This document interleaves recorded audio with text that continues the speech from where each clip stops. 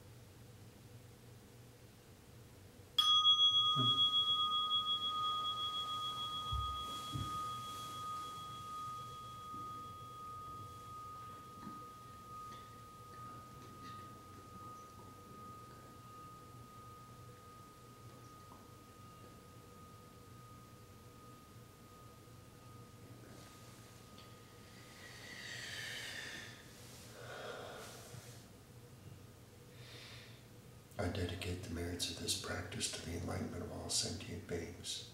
May God bless us and keep us and give us peace.